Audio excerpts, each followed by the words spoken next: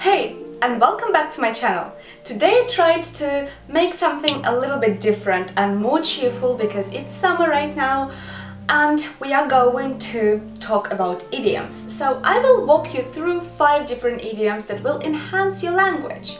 Um, but first, an idiom is really something that makes us different from foreigners and that brings us a little bit closer to native speakers because idioms make our language richer. They fill our language like flowers fill the garden, if you use them appropriately, of course. But beware, if you overuse them, they might turn into weeds and contaminate your garden or your language, metaphorically.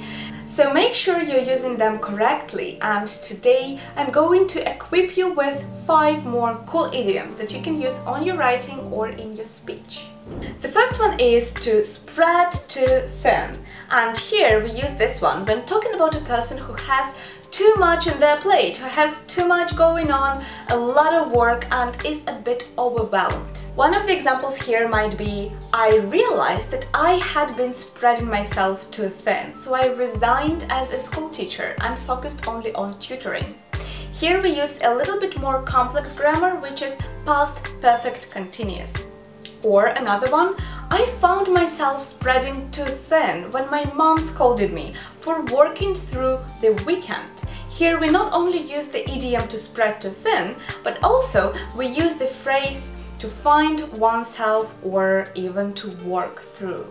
And the next idiom is to bite the bullet. And for this one, it just means to force yourself to work on a project or on a task that is quite difficult and challenging and requires a lot of energy to complete. An example here might be I'd been biting the bullet for over a year now and the project seemed just infinite. Or Okay, I'll bite the bullet for you, but remember I do not approve of this doubtful activity. Here, by the way, we base the sentence on the mix of present and future tenses. The next idiom is to come up short, and this means to make an effort that is not enough to achieve the result.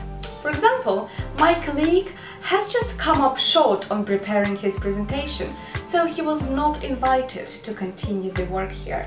Or his sister always comes up short on finals. This time she lacked only 10 points to graduate with honors. It's a pity, isn't it? The next idiom is to open a can of worms. And this one means to cause even more problems when trying to solve at least one of them.